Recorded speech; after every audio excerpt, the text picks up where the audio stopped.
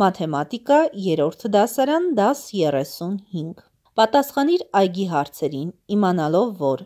6 տուփի մեջ կա 48 մատիտ։ Հայկը գնել է այդպիսի 7 տուփ մատիտ, իսկ Արմենը 4։ Քանի մատիտ կա մեկ տուփի մեջ։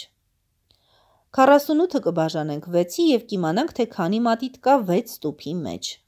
6 տուփի մեջ կա 8 մատիտ։ Քանի մատիտ է գնել Հայկը։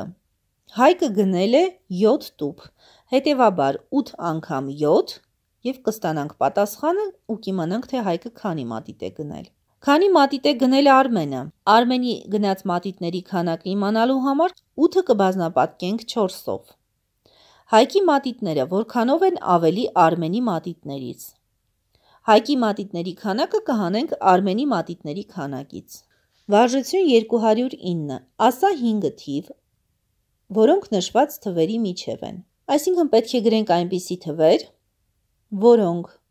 մեծ կլինեն առաջին թվից և փոքր կլինեն երկրորդ թվից։ Քանի որ ունենք մաթեմատիկական գործողություններ, հետևաբար նախ կկատարենք գործողությունները, կիմանանք պատասխանը և ապա կգրենք այդ երկու թվերի միջև եղած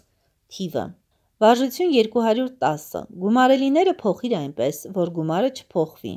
Գումարելիները ինչպես էլ որ փոխենք, գումարը չի փոխվելու։ Վարժություն 211 Երբ հայրիկը Հայկին տվեց 1000 դրամանոց 1 թղթադրամ և 200 դրամանոց 2 մետաղադրամ, Հայկի մոտ եղավ 6400 դրամ։ Որքան դրամ ուներ Հայկը։ Նախ եկեք հայրիկի տված գումարը պարզենք։ 200 դրամանոց 2 մետաղադրամը կկազմի 400 դրամ։ Առաջին հարցով կանենք 200 անգամ 2 հավասար է 400 ապա 1000 դրամանոց թղթադրամը կգումարենք այդ թվին։ 1000-ին գումարած 400 հավասար է 1400։ Հայկի մոտ եղավ 6400 դրամ։ Իմանալու համար, թե մինչ այդ որքան կար, 6400-ից կհանենք 1400-ը։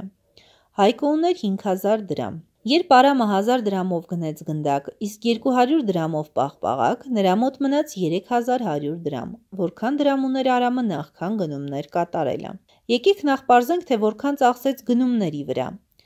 Առաջին հարցով 1000-ին կգումարենք 200 կստանանք 1200, երկրորդ հարցով Արամի մոտ մնացած գումարից կհանենք 1200։ 3100-ից հանած 1200 պատասխանը կգրեք ինքնուրույն։ Վարժություն 212։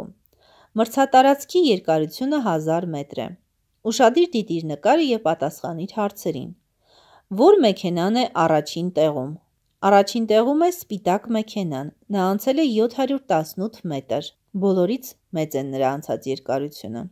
Որքան է սպիտակ և կարմիր մեքենաների անցած ճանապարհների տարբերությունը։ 718-ից կհանենք 412 և կիմանանք։ Որքան ճանապարհ է մնում անցնելու յուրաքանչյուրին։ Յուրաքանչյուրին